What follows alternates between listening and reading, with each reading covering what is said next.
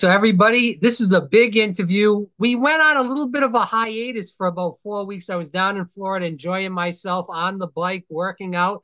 Uh, grateful that everybody is back, hopefully, watching the program here. Uh, we appreciate you listening to Fire Breathing Rob. Definitely like, subscribe, share. Whether this will be on YouTube, uh, time will tell. Uh, there's a lot of censorship still going on YouTube even in 2024. We have a great guest today. I'm really looking forward to it, you know, having him speak to you guys here on the program. Drew Allen, he's a friend of mine. He's really helped me, I would say, succeed in the business, getting me a lot of great guests uh, as far as, you know, people that are conservative, people that just have a lot of things to say and bring to the table. His book is America's Last Stand. Definitely get that on Amazon, wherever books are sold. You can go to your local bookstore and also get that. We recommend that to get those uh, small businesses uh, their due. Uh, if you want to listen to Drew's show on one of the podcasting sites, Apple, Spotify, the list goes on and on. Drew Allen show. Definitely uh, give him a follow on that. A lot of good material. Drew, it's always good to talk to you. It's nice to see you in the flesh for the first time virtually. And I'm so happy we're doing this finally. Hey, me too. I've been looking forward to this for a long time. You know, like like you said, you know, there've been some different complications, but uh, you know, we we talked a while back and I've been wanting to come on here and talk to you for months actually. And I'm just I'm thrilled to be here, man. Thanks for having me. Well, it's always good, like I said, to speak with a fellow person that we might not agree with the candidate, but we agree with each other on a lot of issues. I want to talk a little bit about that from the start, but you know, just to go into you know, who you are, and if you could tell the audience a little bit about that, because you've had a journey throughout politics, throughout uh, books. You own that publishing company where you're helping a lot of these, a publicity company, I should say, uh, helping a lot of these authors and TV guys get their due. So let's just drift back and tell the audience a little bit about you and what's going on with you before we dive deep into the book and politics in general. Yeah, well, you know, I am firstly a native Texan. I live in California. I've lived here for a long time, but I, I lead with that because I, am a native Texan who speaks fluent Italian. So I'm a little bit of an anomaly. I'm a, I'm a, I'm, I'm mysterious. I'm very intriguing, I must say. Um, look, I went to an all male college preparatory school in Dallas, Texas. That's where I grew up, born and raised, and it was a Jesuit school. And so it was very, it was left leaning. Jesuits are notoriously uh, liberal. Uh, that's the environment I grew up in. My parents were conservative. I actually am a conservative as well. Uh, we can delve into that later and explain what that means because people have no clue with these terms today and the way they get bastardized what that actually means. But my environment from high school, uh, even until till recently, has always been basically heavy Democrat. So I graduated from from an elitist all male college preparatory school. and went to Pepperdine in Malibu, which is a Christian school. I'm also a Christian. Um, but despite it being known as a relatively conservative university, uh, I was a theater major and had a theater scholarship. So I was not hanging out with people that thought like me. I was an actor. And I don't think you have to be a rocket scientist to deduce and understand that that environment is not heavily populated by conservatives. It's Hollywood is a is a it, well, I mean, it's a propaganda yeah. machine at this point for the left. So, you know, I was an actor. I moved to New York City, uh, was an actor there, and I ended up in Milan, Italy, where I worked for Marc Jacobs in fashion. I opened and managed retail stores. And the fashion world, again, is not conservative. It's left leaning. It's Democrat. It's it's hard left.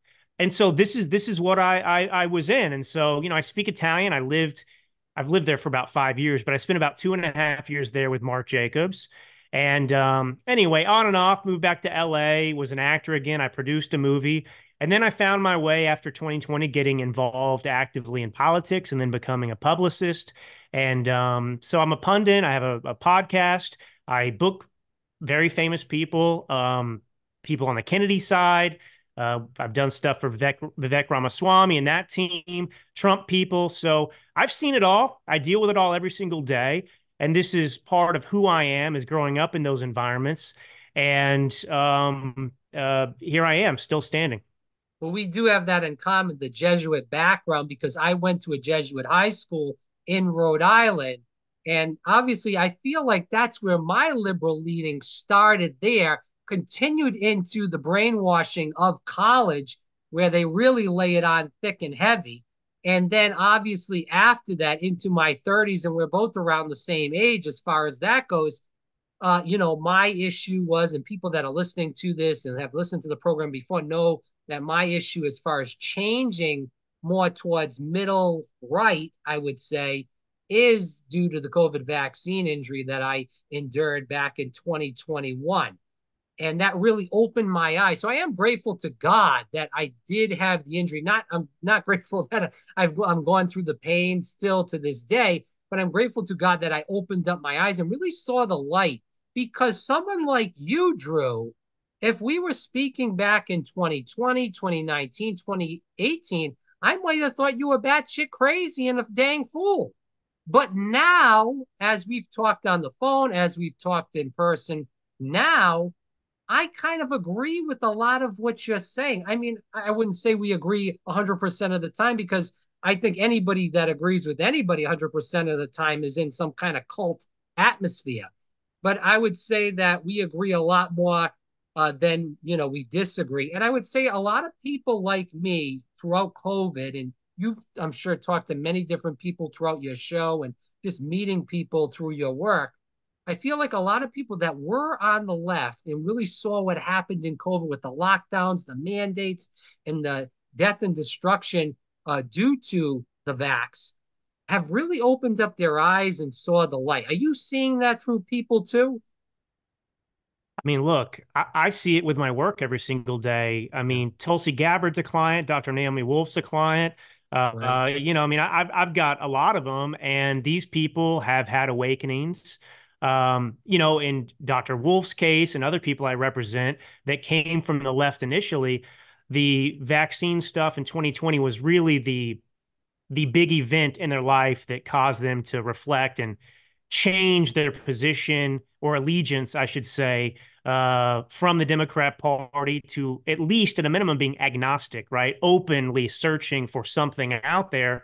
Um, Tulsi Gabbard, you know, left the Democrat Party behind um, this is a big thing. I mean, RFK Jr., you could argue too. I mean, he is somebody who um, I think is a net positive for America. And he's not going to win in 2024. Uh, but regardless, I think that that movement is a manifestation of something bigger that's happening in the country, which is people realizing that there's something wrong, realizing that the factionalism that is so deep in this country um, has become a danger a critical danger to American freedom and prosperity, uh, and that these parties have become a negative uh, in this country. And you know, you can go back to George Washington, and you know, I, am a big history buff, and you know, when Washington was elected president unanimously, um, there were not political factions. He was elected as an American president, and that's it. And in fact, I, I, I every chance I get, I urge people to Google um, George Washington's farewell address to the nation. It goes back, it's from 1896. I mean, 1796, uh, I believe, is the date. But nonetheless, um, his farewell address is he prepared to set the standard, right? And step down after serving two terms is just a work of beauty, of art. It's transcendent. And if you read his warning to Americans, remember, I mean, we had he was the first American president. We were we were just beginning our journey together, and he issued warnings and advice to the American people about what would serve us well. And pretty much everything that he warned about, every piece of wisdom, every piece of advice he gave, we have not only ignored but done the opposite in this country. And one of the primary things that he said, of course, was to uh, one, he said that patriotism, for example, should uh, be more important than any local discriminations. Now, I want to point out something. We just saw last Friday a group of Muslim immigrants who live in Dearborn, Michigan.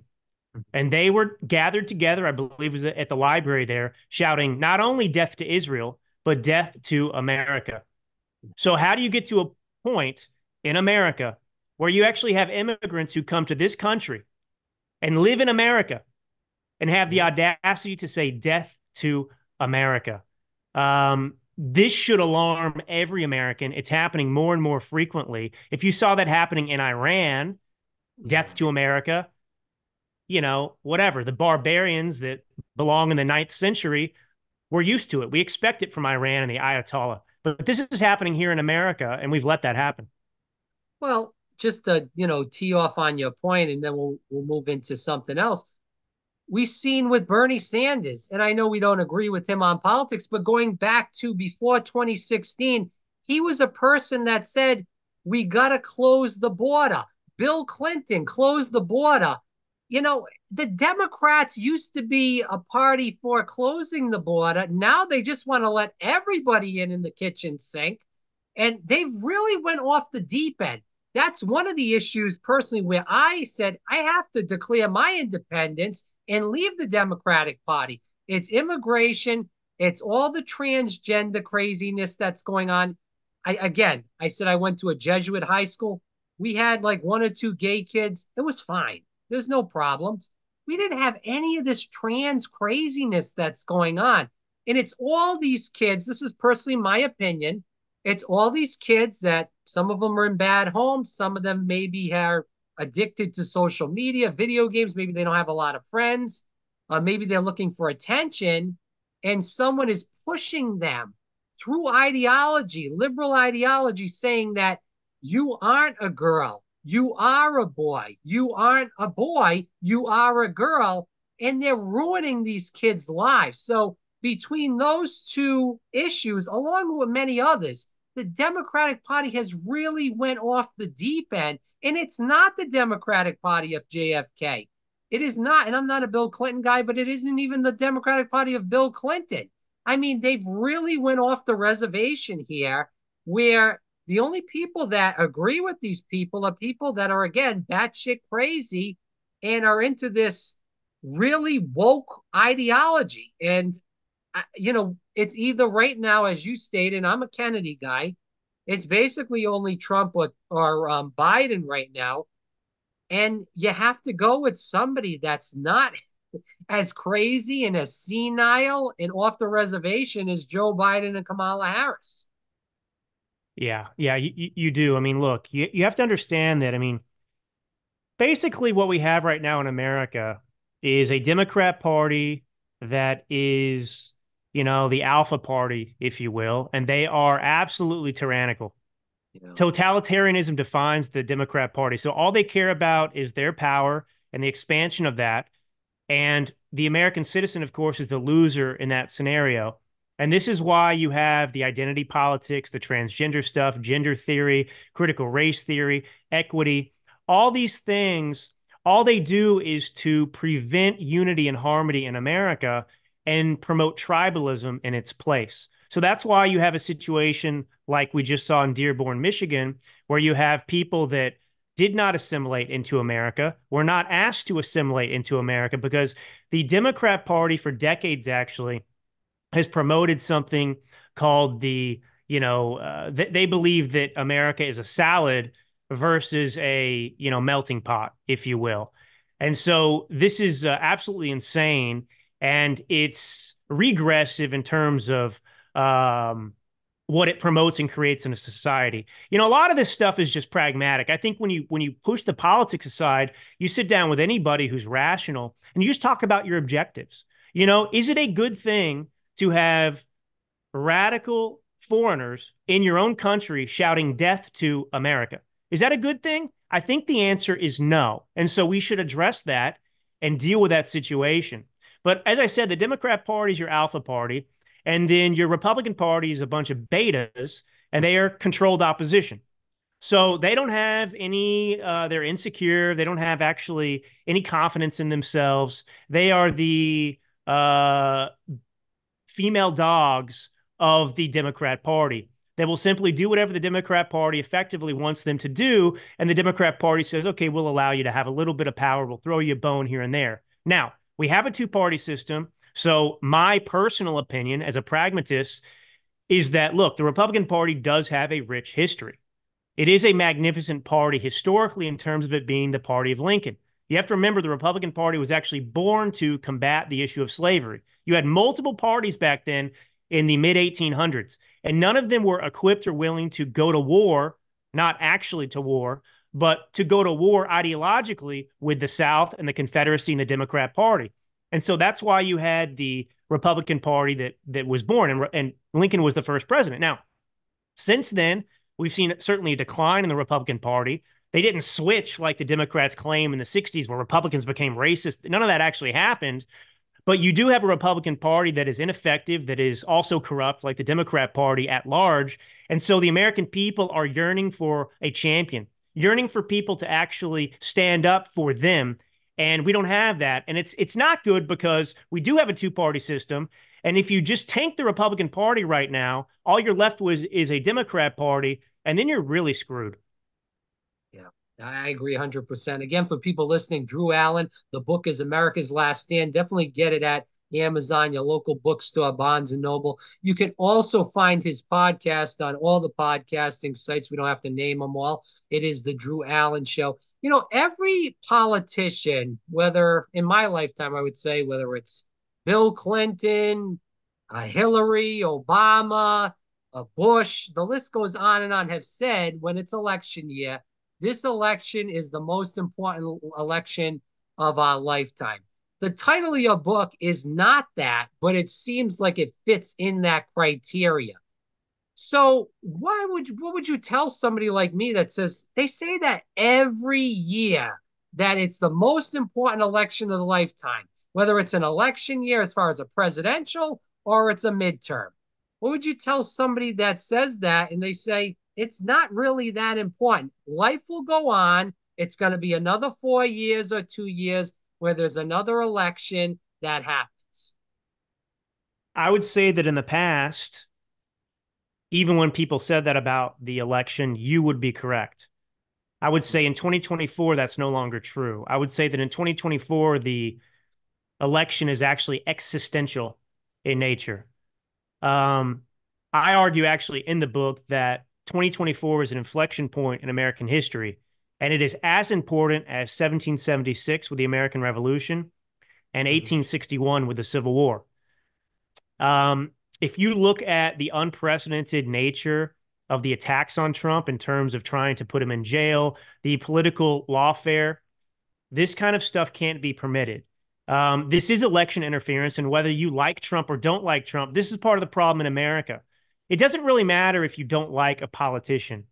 We have to exercise self restraint. That's what's held the country together for so long. So just because you don't like somebody, um, doesn't mean you can go about evading the law, bastardizing the law, uh, weaponizing the justice system to destroy political opponents and Americans in this country. We have a constitution, and we have to all swear uh, to uphold it.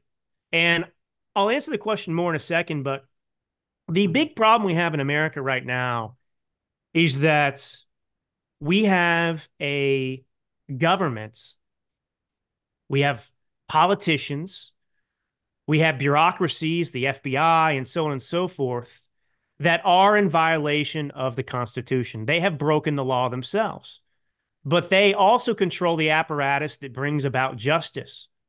And so you have politicians who have gotten away with crimes. You have Joe Biden, who will never be properly investigated. We all know what he did. The Democrats can lie and try and dismiss us all, all day long. But Joe Biden took money from foreign countries, including the communist Chinese, the greatest enemies of America, in exchange for policy decisions. The border situation alone is treason. That is the correct word for what's happening. So who is going to hold the government accountable? See, this is the problem. We have these these lawsuits going on, for example, that are trying to prevent Texas from enforcing border laws.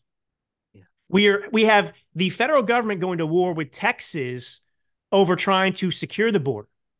We've never had this in America before because technically, yes, it should be the job of the federal government to defend the border. In fact, you swear allegiance to America. But you have a situation where they're the ones that aren't upholding the Constitution. So, what are the American people supposed to do when you have a government that is violating the Constitution?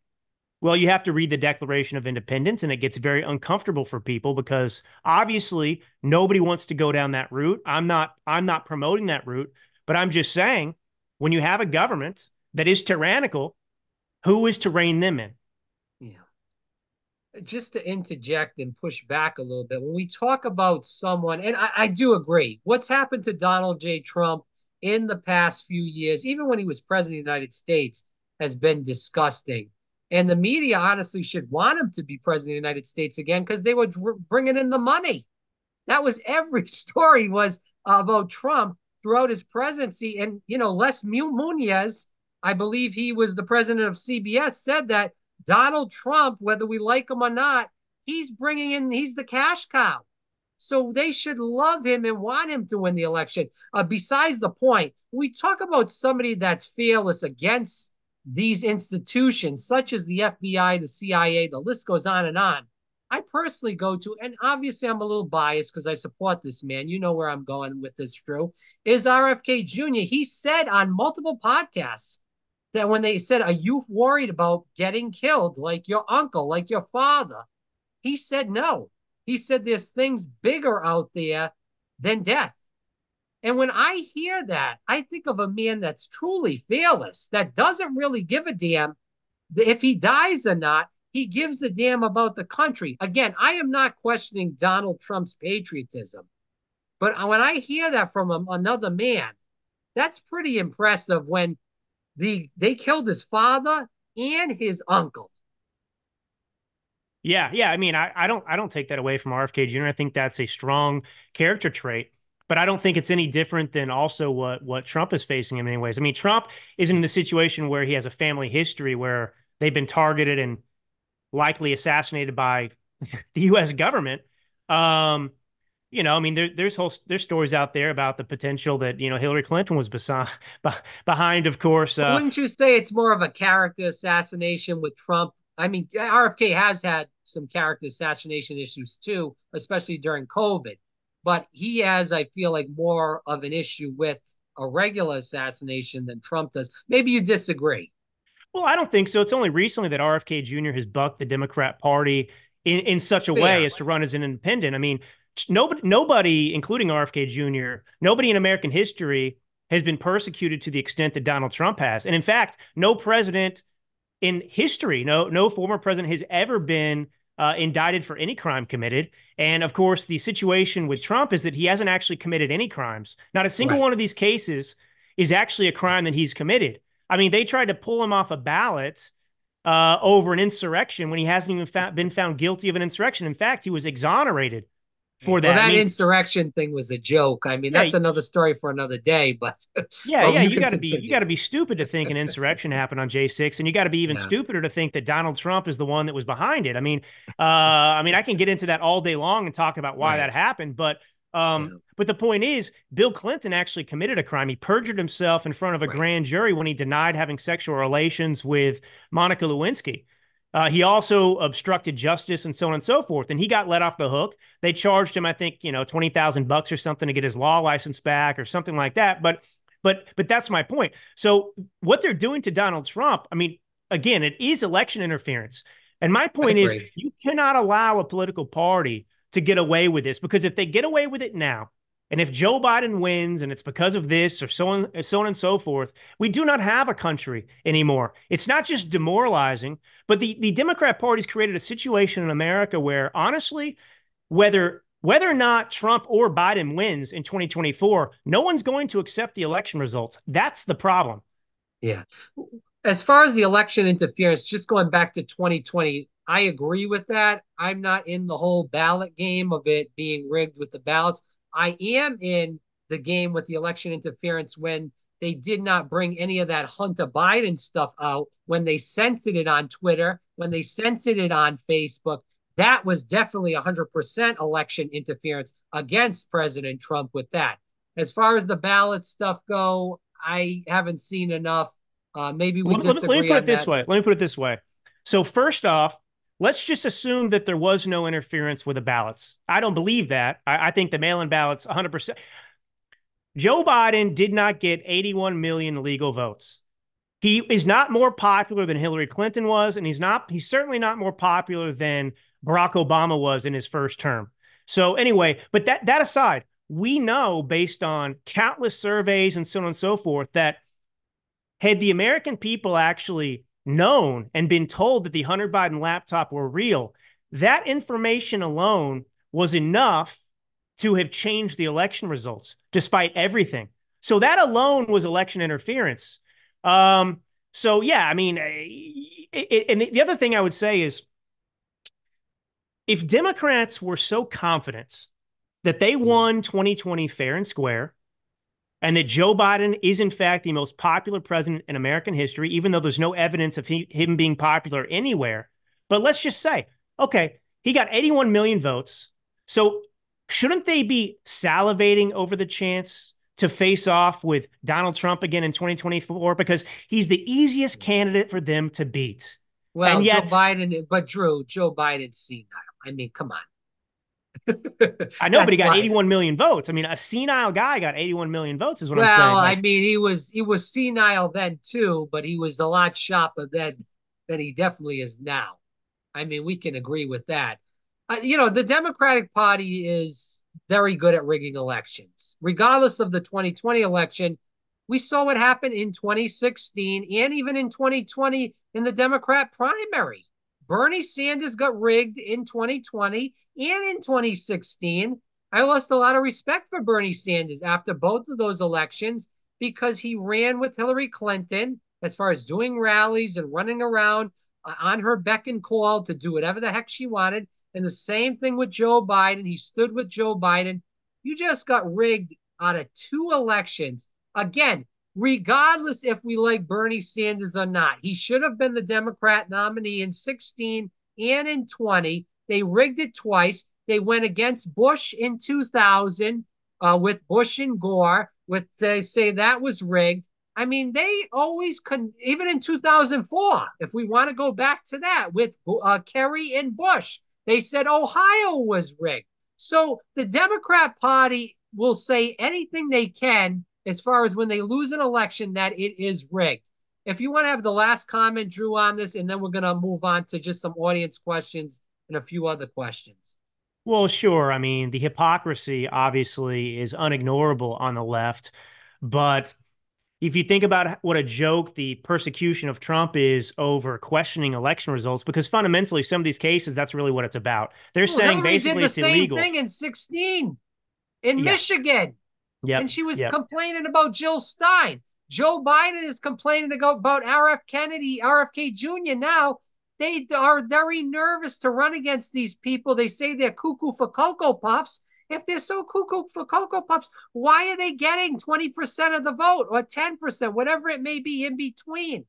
Eh, you know, because people are sick and tired, and it's what are you going to do for me? What have you done for me lately? And the people say to Joe Biden, You haven't done anything for me lately, Drew.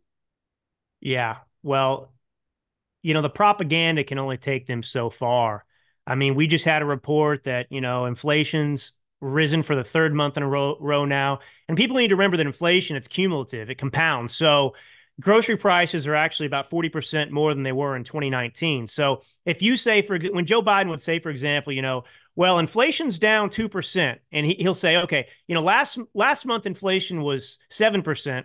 This month is 5%. It doesn't mean that anything got, got cheaper. It means that last month prices increased by 7%. This month they increased by 5%. So that's how it compounds. And they told us it was transitory. I mean, they have lied about everything. If any American has self respect, they cannot vote for Joe Biden, period. The guy himself, of course, is a serial pathological liar who tells the same lies over and over and over again. But th- think about this. We know, as a matter of fact, that the border crisis is a consequence of the Biden administration's policies. He bragged about rescinding all the executive orders that Trump had put in place and bragged about the fact that he had opened up the border. This is what he bragged about. This is what Mayorkas bragged about. And then they told us that it was Trump's fault and they wanted to secure the border, but they needed Congress to act, that the president couldn't do anything. That was the big lie they were telling three weeks ago. Well, now the border issue is so unpopular. It's so bad for the Democrats that that issue alone is capable of tanking any chance Biden has at reelection. So now what do you have? You have the left wing media pumping out stories that Joe Biden is now considering taking executive actions to secure the border, which is what? An admission that they were lying, an admission that they can, in fact, secure the border on their own within, without an act of Congress. Because the problem isn't we need more laws. The problem is they won't enforce the laws that are on the books. So think about this as an American citizen. You're going to vote for a guy, Joe Biden and Democrat Party, that just lied to your face for three plus years, telling you that they couldn't do anything about the border. And now they're saying, oh, the election's a few months away. We're going to close it down. Yeah. Drew Allen again. It's America last America's last stand. Excuse me, the Drew Allen show on all your podcasting sites. Uh, Drew, you know, just kind of putting the exclamation point on this. I think it's more likely than not that Donald Trump does win the president presidential election on November 5th of 2024. Let's play the hypothetical game. What happens, do you believe personally, if Donald Trump does not win, whether it's a rigged job? I, I honestly think that's the only way it could go where he doesn't win. But, uh, you know, even if it's not a rigged job, we'll say hypothetically. Well, the Democrat Party right now, their plan of action is to use the 10 million plus illegals they have imported into the country and facilitated the invasion, they're going to use them to vote. Now, you have to understand it's not that complicated. These individuals are being flown into Philadelphia, other places. And in fact, you can go and look up video of these, uh, some of these illegals being interviewed.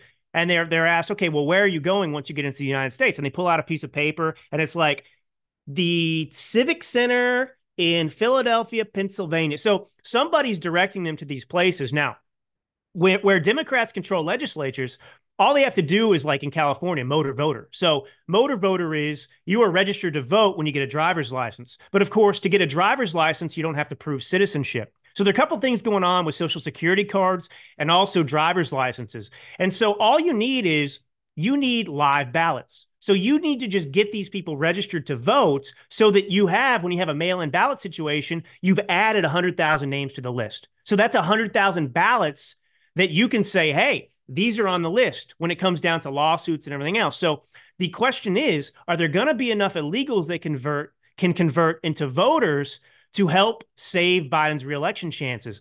I think they're very worried that they can't even do it with the illegals this time. Last time they had COVID and so on and so forth, but mail-in ballots are key. Now, the second thing they're trying to do is the Hail Mary of the abortion issue. And they are they, they understand that there's not going to be voter turnout for Joe Biden. I mean, people aren't going to show up to vote for Joe Biden. That that that's really what's going to happen. Some people are going to vote for RFK. Uh, you know, other people just aren't going to vote, and that's the bigger thing because it's about who shows up. And there's obviously a lot more enthusiasm behind Trump voters than there is Biden voters right now. So they need something to get those voters to cast a ballot or show up. And so they're hoping they can make the abortion issue, and most of it's artificial, by the way, what they're doing. Most of the stuff they're saying, even in Arizona, isn't even accurate. Yeah, I know California is a cesspool as far as that goes. You used to live there. You know the song and dance very well. There. Oh yeah, I'm still here. Uh, that's true, actually. I forgot about that. I, I had the little brain fog uh, attack for a second. But regardless of that, Gavin Newsom, the governor, he obviously went toe to toe on Fox News with Hannity uh, months back. Uh, with um, it was Fox News. Hannity moderated. Uh, he was there with uh, Ron DeSantis. I thought Ron DeSantis made him made him look like a dang fool up on stage. In fact, there was also talking points that uh, they were supposed to go for more time, and Newsom's wife said, "Hey, that's it. We're done uh, during the commercial break. But regardless of that, there's been a lot of talk that you pull Biden out, you put Newsom in. He's a good looking guy. He's a tall guy. He's slick. He's kind of skeevy to me. Seems like a used car salesman. Obviously, he's your governor. You know this backwards and forwards. Do you see them putting him in there? Because you maybe have a better chance at winning because you have a young, slick used car salesman guy running against Trump rather than Sleepy Joe that can't even debate him. So Gavin Newsom certainly has ambitions to rise uh, to a position where he can be a, a future president and lead the Democrat Party. Um, the Democrat Party is not interested in him uh, right now at large, and frankly, uh, I'm not scared about Gavin Newsom. A lot of people say exactly what you've said and go beyond that to say that he could win and they're scared of him. I'm not scared of him. I live in California. He's run this state into the ground. His record is just as shameful as Joe Biden's is on a state level. We're, we're running deficits right now. He's full of garbage, and he's not that slick. We saw him go up against Ron DeSantis, and Ron DeSantis cleaned his clock. So he's not that smart. He's only good when you insulate him. So he'd have to run a basement campaign like Joe Biden, even though he doesn't have the mental excuse and physical excuse. So no, I'm not, I'm not bothered by by Newsom. Um, I, I, get it. He's a nice looking guy, more or less, you know, the, the snake skin or whatever, you know, that's on there. But but uh, I, am not worried about it. But secondarily, um, you know, people who've been speculating that like, oh, Michelle Obama is going to be the nominee no, instead or whatever. I've said um you guys are wrong from the very beginning. And and and it's you see people who think that Joe Biden's not going to be the plan A or the plan B, see they're thinking rationally. Now, the Democrats aren't thinking rationally like someone else. They're not looking at the situation like everyone else. Now, Joe Biden is the greatest gift the Democrats have ever had. He's been the most destructive president in American history. And that's because he's totally controllable, absolutely controllable. And it's a big ordeal to try and swap out a candidate to build the infrastructure to run somebody. So, no, I mean, he was like this. I mean, he's gone downhill since 2020, but you can go back and look at 2020. He wasn't that much better. That's the truth. He wasn't that much better. And so they just want to get him across the finish line. I mean, look, the Democrats put themselves in a situation where there isn't really an exit strategy. That's the reality. Kamala Harris, they they like her less than Joe. They don't want her in there. So they don't they, they have believe it or not, these strategic geniuses where we think like every string is pulled and everyone knows the outcome of it. They don't. They went with Joe Biden because it made sense in 2020 for them. They could present him as like the moderate Joe guy, even though he wasn't and now they're stuck with him. That's what's going on. Well, they didn't want Bernie because they couldn't control Bernie like they could Joe. Again, whether we like his politics or not. I do have about three audience questions. If we could take a quick commercial break, Drew, and bring you back. Yep, absolutely. All right.